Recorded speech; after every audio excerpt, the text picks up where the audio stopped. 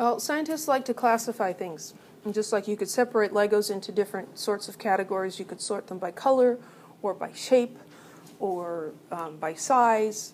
Um, scientists find it useful to cl- classify things. So we classify matter, and one way to classify it is by its physical state. The three common states of matter are solid, liquid, and gas. Um, and what happens here is I usually end up saying everything on the next few slides when I talk about this picture. And so then we'll have to go through the slides quickly, but it'll be fine. So we're looking here at water. Water's nice because we are familiar with it in all three of its physical states. When it's a solid, we call it ice. When it's a liquid, we call it water. And when it's in the gas state, we call it steam. And the difference between these different states of matter has to do with what the particles are doing relative to each other. In the solid state, these particles are arranged in a very particular order. You see, they're kind of in lines, and they're not moving around. They're wiggling, they're vibrating, because all matter is moving, but they're just vibrating. And this corresponds, we have a, I have a student state that um, there are three states of students. You are currently in the solid state because you're sitting in chairs in rows, right? And you're not moving relative to each other, but you are not completely still, are you? I think everybody's still breathing. So even just breathing, your chest is moving a little. You're scratching your nose, you're taking notes, you're looking at the clock, when's this going to be over? But you're moving. In the liquid state, the particles are still about the same distance apart. Some books say they're touchingly close. They're close enough that you could reach out and touch the next one. So they're still close together. But now these molecules are moving around pretty much randomly. And this is what happens to students when we have lab. Because everybody, we're going to push all the chairs up to the front, and people will be milling about You'll be going to the balance and you're going to the cart to get something and you'll be moving relative to each other. That's what the particles, the molecules or the atoms are doing when something is in the liquid state. In the gas state, now the particles are much farther apart, they're not interacting at all, and they move completely independently of each other. In the gas state for students is 450 when class is over the door opens and the gas disperses into the atmosphere, and you all go off in different directions. And you're far, far away from each other. That's what the molecules do in a gas.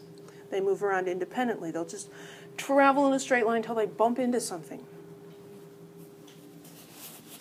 So then here's all the words.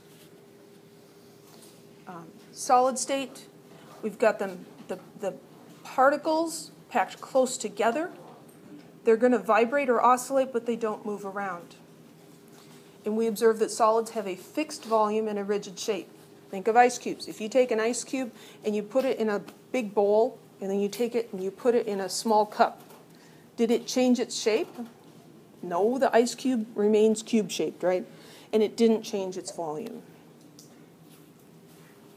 There are two kinds, two general kinds of solids um, crystalline and amorphous. A is a prefix meaning without. When a superhero morphs, what does he do? He changes shape, right? Morph has to do with shape. So amorphous implies without shape.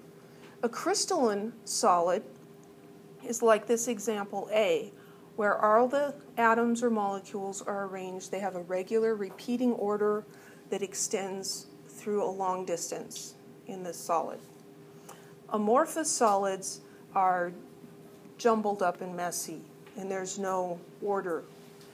So, you guys as a class right now, are you amorphous or are you crystalline?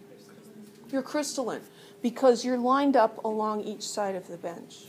If you have a bunch of kindergartners and you say, come on, gather up for circle time, and they just plop down to hear a story, are they going to be crystalline or amorphous? Amorphous. They're just, they might not even be facing the same direction, right? I've, I've got a child who started kindergarten yesterday, so I know how clueless five year olds can be. They're a lot of fun. So that was solids. Liquids, here they're still close to each other. But liquids have a fixed volume and assume the shape of their container. So solids and liquids both have fixed volumes. Their volumes don't change. But if you take water from a tall, skinny glass and you pour it into a wide, shallow dish, the shape of it changes, right? The volume doesn't change, but the shape changes. So that's an important difference between liquids and solids. They can do that because their particles are free to move relative to each other. They're not stuck together, fixed in position. And then gases. We have separation large distances between the particles. They are free to move relative to each other. Because there's so much space, gases are compressible. If we look at this picture, here we have a, a solid. If you put it in a, in a piston and press down on the top, you can't squish it. You think of a rock. You put pressure on it. Does it get smaller?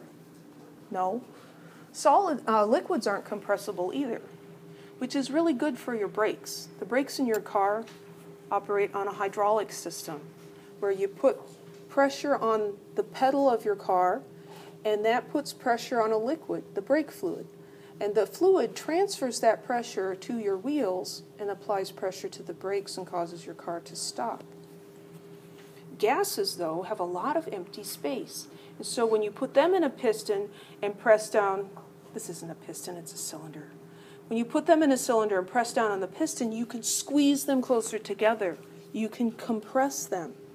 If you have air in your gas line, when you put your foot on the brakes, the gas that's in there, the air, is going to get smaller and you're not going to get that transfer of force to your wheels, and your brakes aren't going to work very well. So, gases are compressible, liquids and solids are not. Gases also assume the shape of their container. They also assume the volume of their container. So each of these, if we look at liquids and solids, they have something in common. They retain the same volume. Gases and liquids have in common that their shapes are changeable. And yet they're all different in the sense that gases are compressible um, and solids are not, they don't change their shape that, that last bit, we'll just go back and delete that. So this is a good table that just kind of summarizes all of that stuff. Any questions?